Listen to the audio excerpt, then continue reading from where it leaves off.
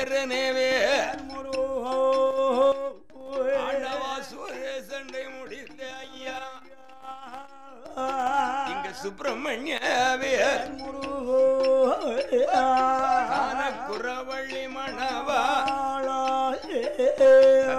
செந்தூர் வடிவே. முருகோ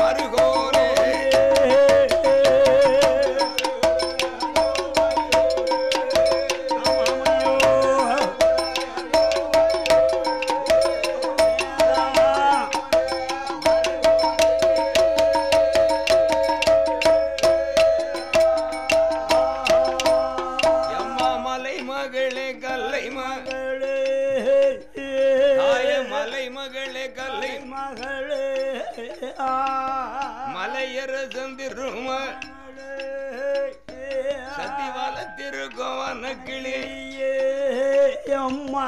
வாக்கு தர வருவாயம்மா இடமிருக்கும் கல்லை மகளே எனக்கருள வேணும் அம்மா சத்தினாவது ஆந்தடமாரா ராமல் அடியனும் மங்கிட தாய நெஞ்சு முட்டினார். உணர்ந்து தடுமாறும்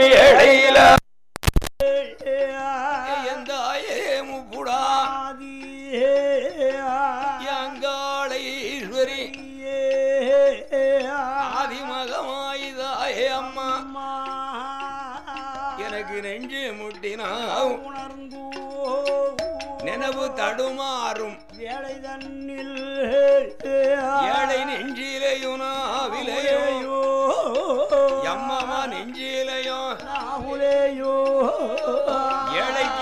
நினைவருள வருவாய் தாயே.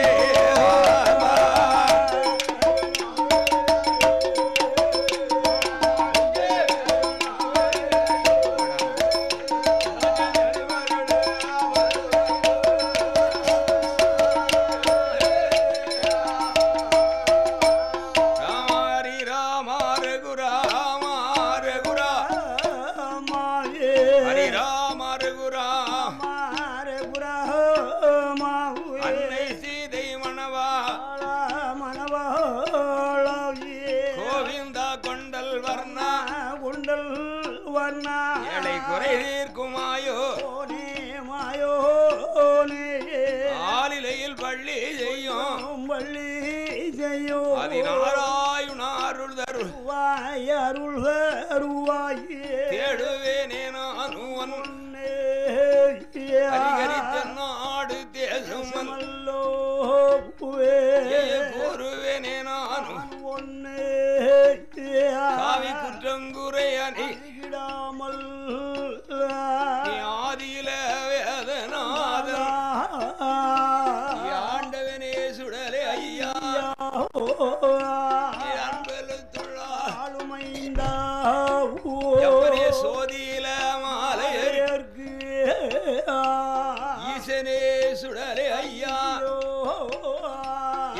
என் பேட்சி மக மாயா நீ சோதியில மாலையருக்கு எப்பனே தூண்டாம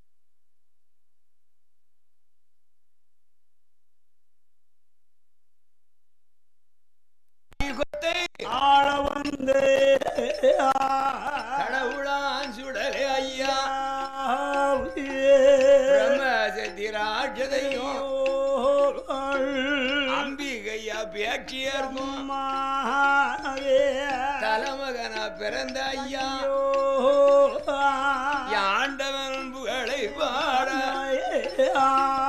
ஆதிமுலாருள் தருவா. இங்கு சுடலகதை குறைகள் பாடாடு சுடலகதை. குறைகள் பாடு ஈசன் சொர்க்கேசானி அருள் தருவா